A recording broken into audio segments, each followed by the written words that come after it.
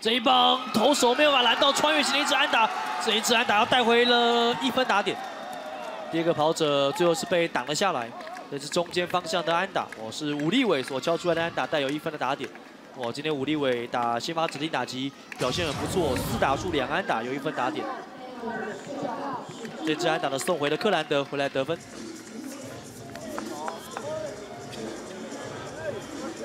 所以刚刚才林威志还在场上的时候，如果克兰德一上来以后就跟完投手的话，那他们就比较有机会做一个双杀的守备。那等到二三垒的时候，就会稍微比较难处理。